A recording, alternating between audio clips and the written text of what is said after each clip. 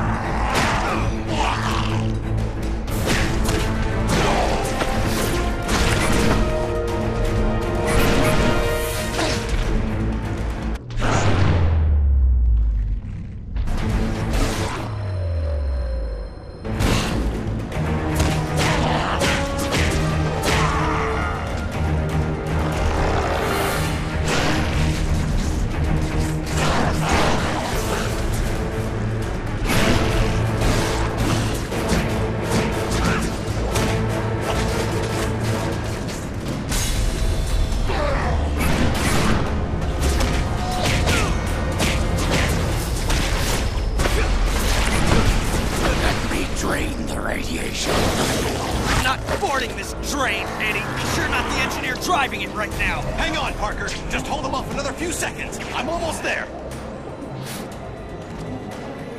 Oh, oh my powers! You, you can't! Of course I can. Don't drag this out.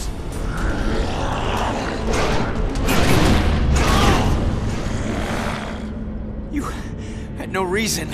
I didn't need a reason other than to make it easier to kill you. O'Hara, it looks like you called it.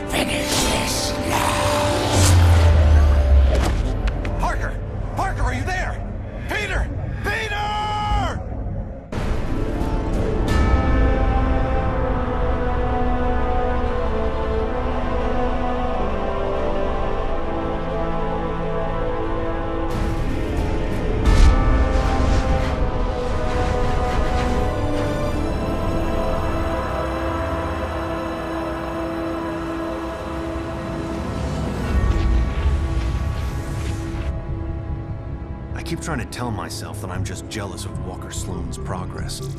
It was only five years ago that he first showed up at Alchemax talking about harnessing energy from the fourth dimension. Now he won't stop until he's running the place. I know his type. He's thinking beyond Alchemax, aiming towards who knows what. He's the exact type of corporate monster I've sworn to rein in. Especially if he's mucking with time travel.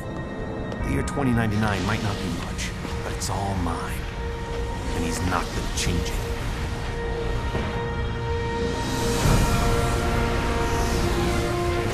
He's been siphoning Alchemax resources into converting the Gateway and the old virtual unreality lab into something else. Something dangerous. I've tried talking to him, but he's got no time for Miguel O'Hara. But people make time for Spider-Man. Just use the convenient access to the ventilation system to get inside, and then Walker and I can have a little chat.